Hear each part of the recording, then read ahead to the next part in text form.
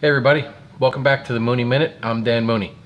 Today we're going to discuss in-state and out-of-state schools. Uh, we've touched on visits and we've touched on some college lists, but I wanted to talk about uh, players who ask, uh, do I need to start with schools in my own state? I, would like to go far away from home. I want to get away from my parents, whatever the question may be. Here's my advice. You need to start in your own backyard first okay? Find the schools that are an hour, two hours, three hours right around your home because you might surprise yourself. You might find some schools that you've never heard of that are only an hour away. They've got a great baseball team, good coach, you love the school, great academics. So I, I encourage you to, to educate yourself on what's right around you. Then you can branch out. Also keep this in mind.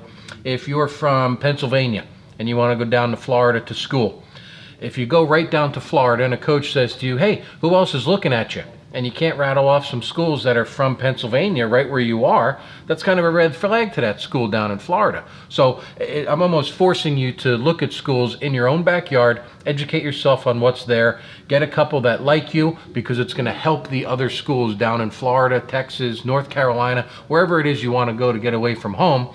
The ones in your own backyard are going to help you. So uh, the, the thing is, too, you might just fall in love with one and wind up going there, and it gives you an option.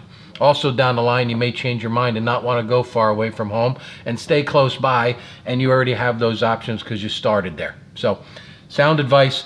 Again, thank you for joining me. Leave any questions, comments. I'd love to hear from you guys. Uh, next time, we're going to talk about actually the decision process, making that commitment. Want to address some of my 2018s and help them out. Thanks again for joining me.